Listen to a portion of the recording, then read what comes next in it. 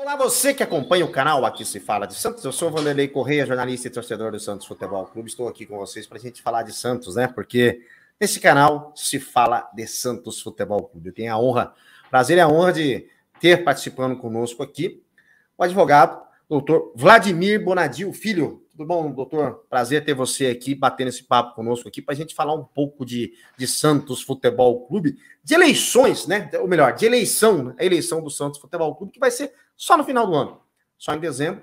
Mas chapas, pretensos candidatos, né? Todos já estão se movimentando, obviamente. O movimento político do Santos já começa a aflorar aí, principalmente nas redes sociais. Prazer ter você aqui, viu?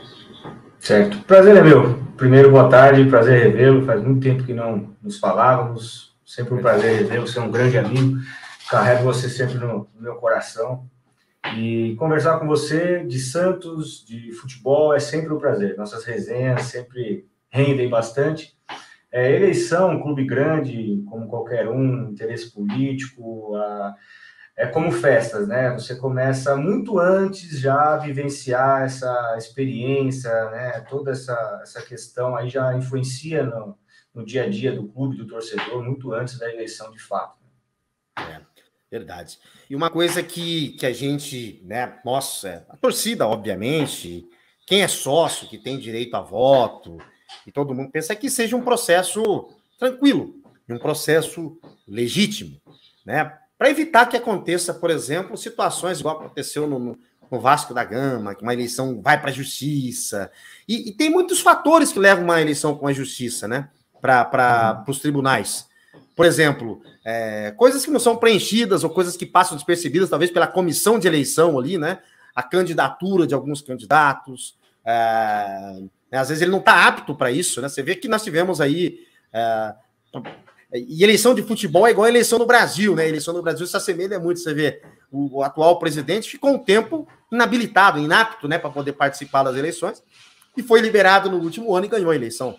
Então isso acontece Sim. muito também nos clubes. Eu acho que os estatutos eles dão muita brecha, né? Então, Sim. acho que tá, a gente está aqui para bater um papo. E o intuito desse vídeo aqui, você que está acompanhando o canal hoje, é a gente explicar para vocês realmente quem pode se candidatar à presidência do Santos, quem não pode, por que, que não poderia, se essa pessoa que não pode se candidatar conseguir se candidatar e vencer se pode ter algum problema lá na frente, se pode ter alguma ação na justiça. Quem pode mover essa ação? Um mandato de segurança, né? Bloquear tudo, parar tudo. Que isso é um grande problema, Vladimir. Se o, se o cara ganha uma eleição e ele está inapto, um juiz pode ir lá e falar: ó, com base no estatuto, você não pode administrar. Aí, tipo, já vai automaticamente para o vice ou não? Como é que fica, né? Mas essas e outras nós vamos responder aqui com o Vlad e será um prazer depois. Faça o seu comentário, é, faça as suas perguntas. O Vlad, a partir de agora, vai ter participações semanais no canal Aqui Se Fala de Santos, falando de direito, direito desportivo e principalmente, para começar os trabalhos, vamos falar de eleições. Vlad, decorou aí o Estatuto do Santos? É, assim, é, é difícil decorar, porque são muitas Sim, claro. condições, mas assim, é, o Estatuto do Santos não foge muito ao de outras instituições esportivas, né? É, basicamente, você coloca no estatuto né, os requisitos básicos para filiação, como que vai ser a gestão dos, né, da, da propriedade, da questão social do clube, enfim, o, o estatuto tem que prever tudo isso, né? É, o nosso tema é, hoje aqui específico é a questão da eleição, né? Não é só isso que prevê o estatuto. Mas o estatuto ele tem por obrigação, né, na sua Constituição, ele prevê as condições, os requisitos, né, básicos para uma pessoa ser candidato à presidência, né, no caso do Santos, a fazer parte da gestão, né? É, a gestão do Santos é dividida, tem a questão da, da, da do consultivo aí de contas, tem a divisão, né, de, de de gestão esportiva de fato, né? E tem a gestão representativa do clube. Né? Para você fazer parte dessa, dessa comissão aí, dessa gestão, como presidente e vice-presidente, eleição de chapas, tudo mais, tem alguns requisitos, né? Para a presidência, de fato, né, você tem que ter, como em todos os clubes, uma certa idade, né? No Santos, especificamente, são mínimo de 30 anos de idade. Você tem que ter um período de filiação no clube, né? No Santos são 10 anos, Né? Então, você tem que ter essa filiação ininterrupta. Tá? Sócio, né? É, como sócio. Como sócio, você tem que estar como sócio. É, você tem que atender alguns requisitos legais de administrador de uma sociedade, ou seja, você tem que demonstrar capacitação, etc. Né? Tá em dia com os pagamentos, né? concordar com essa inclusão né? nessa situação de administração, da chapa e tudo mais, firmando de próprio punho essa anuência, né? E não ter sido membro de embaixadas né, no, nos últimos três anos, né, é, ou imediatamente posterior a um mandato. Né, ou seja, você não pode ter representado o Santos né, nessa, nesses três anos anteriores ou posteriormente a algum mandato. Né. Então, esses são os requisitos básicos para você poder disputar ali a eleição para a função né, de presidente e vice-presidente. Tá? Aí você faz parte da chapa, enfim. Lembrando que cada candidato ele tem que ter ali um, um conjunto, inscrever um número de, de conselheiros, né? E vão fazer parte disso aí. Enfim, e aí, ok, se forma uma chapa e aí faz o quê? Apresenta isso na secretaria do clube, né? Até 20 dias antes, né? Se eu não me engano, até 20 é, dias antes do prazo da eleição. Isso. Tem que respeitar o prazo, né? É, você tem que apresentar a chapa. Essa chapa pode ser denunciada ou não pelos sócios, né? É, o Conselho Deliberativo vai ter que avaliar se não tem nenhum impeditivo tudo mais. Não havendo nenhuma denúncia até a data da eleição, a chapa está validada e pode participar. Ou se não for respeitados os prazos, né, não tiver nenhuma indicação de impeditivo, de descumprimento do requisito, a chapa também está validada e pode participar. O que seria uma denúncia, baseada em que uma denúncia que poderia acontecer numa chapa que está se candidatando? Por exemplo, uma coisa assim, básica. Assim. O, cara não, o cara não ter, por exemplo, o candidato a presidente não ter 10 anos de, de associação. Tá? Se ele não cumprir o requisito de, de tempo como associado do clube, ou se ele não tiver a idade mínima, né? Então, uhum. pode ser denunciado aí o descumprimento do requisito básico, um deles, né? Desses é, que a gente certo. citou agora. Tá? É, antecedentes, é alguma coisa, antecedentes criminais, alguma coisa do tipo assim? Olha, é, especificamente como requisito para a, a ocupar o cargo, não. Tá? Para você participar da chapa, não. Você não pode ter antecedentes para ser presidente. Dentre é, um dos impeditivos para você assumir o cargo, que daí já é uma situação posterior à eleição, né? Certo. Você já deu entrada na chapa, passou, foi feita a votação, você foi eleito. Sua chapa, digamos, sua chapa foi eleita mas você, por exemplo, teve contas reprovadas no último mandato. Tá? Você foi vice-presidente de um mandato anterior, de outro presidente, você teve aí as suas contas reprovadas naquele mandato junto com o presidente. Você não pode, você não pode exercer o cargo. Pelo menos é o que dispõe aí o estatuto do clube.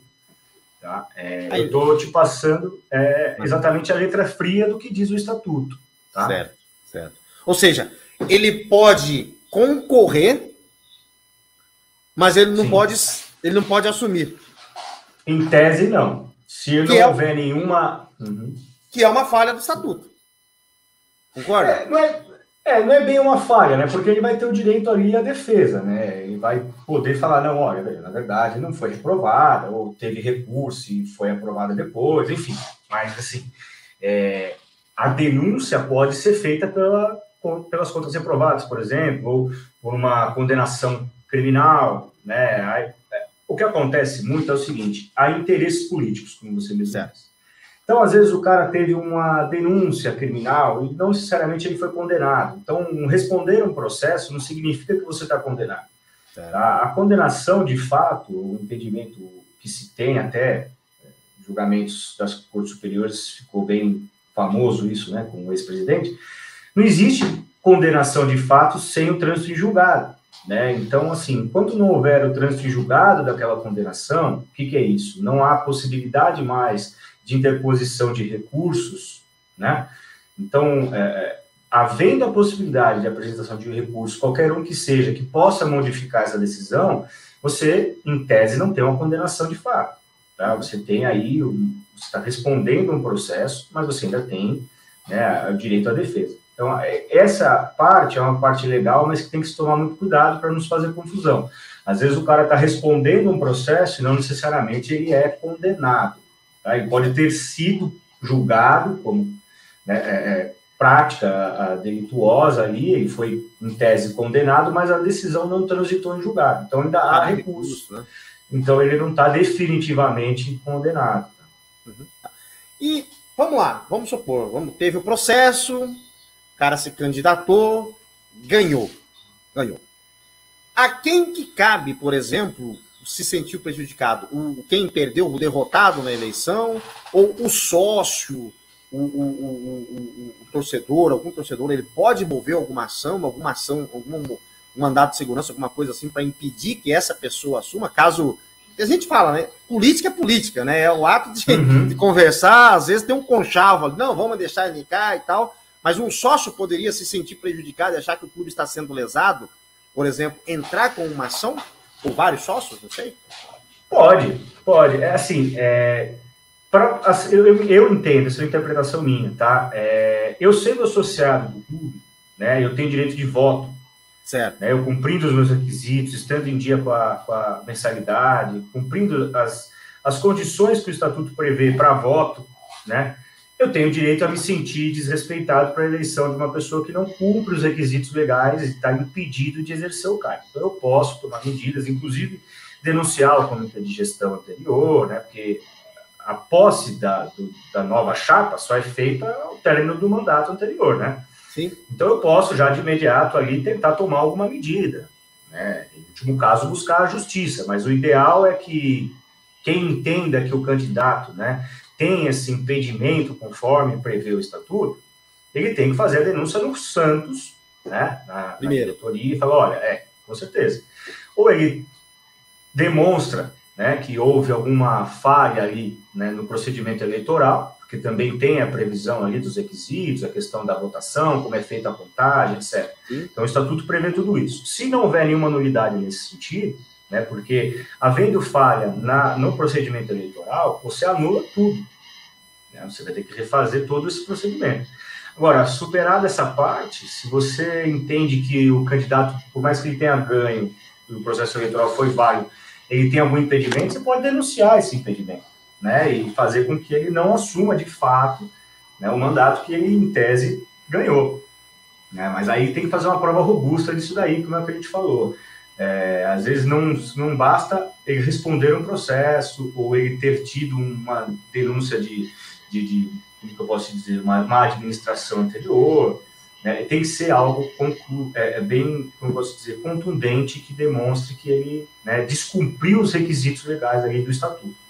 É, mas as contas reprovadas, por exemplo, é, é, isso, se for comprovado, se for comprovado, ela participou do processo, ganhou e tal, e, e, ninguém falar nada, um sócio pode fazer isso. Pode entrar com uma Pode. É, se eu não me engano, eu, eu de cabeça eu não me lembro, mas eu, é, é, se eu não me engano, está na seção 13 do Estatuto, onde fala é, os, os impedimentos né, para a pessoa que foi eleita assumir. Né? E em um desses incisos consta que é, a pessoa não pode ter tido contas reprovadas em mandato anterior, por exemplo, como você perguntou. Então, digamos que, como eu disse, o cara participou de uma gestão anterior e teve conta reprovada, ele, em tese, está impedido de assumir a presidência do Santos. Tá? E uh, o estatuto não fala um prazo.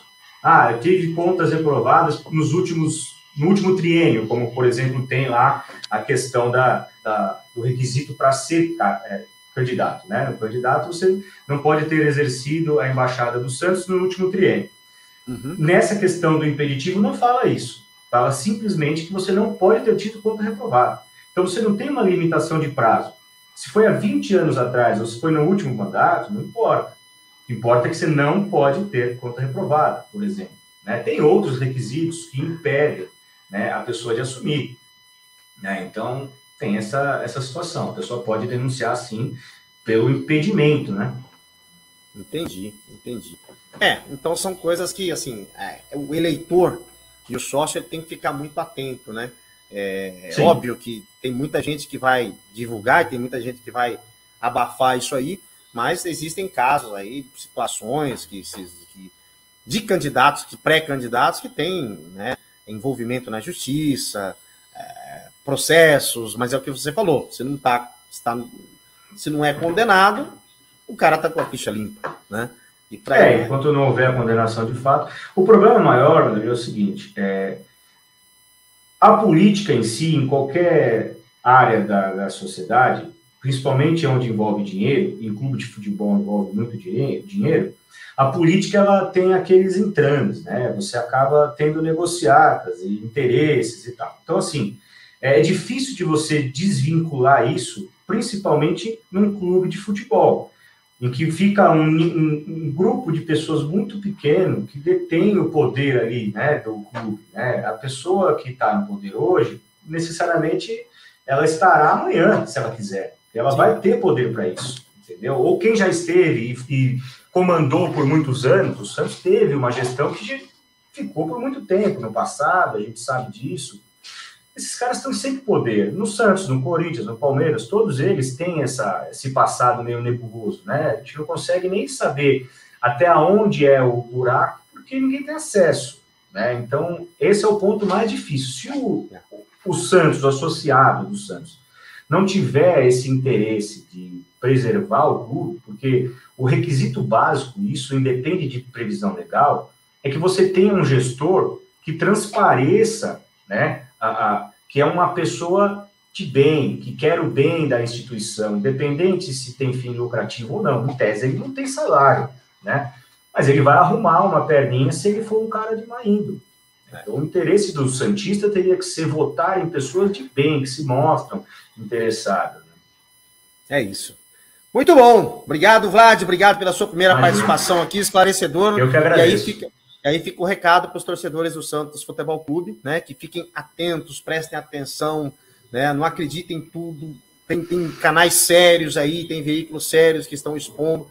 Procure investigar um pouco o seu candidato, coloque o nome dele na internet, dê uma olhadinha no Google, né? Já ajuda muito. Né? Entra no site Exatamente. do Tribunal de Justiça, coloca o CPF da pessoa ali tenta descobrir o nome da pessoa ali, coloca. Isso aí rapidamente nas campanhas vai aparecer de tudo. Mas o ideal é que você faça esse trabalho, né, para não ficar sendo iludido também por pessoas, né? E a gente está aqui, é. obviamente, para mostrar quem é quem no jogo do bicho, na eleição do Santos Futebol Clube. Brad, um abraço para você, até a próxima. Eu que agradeço, um abraço, prazer revê-lo. Fique com Deus.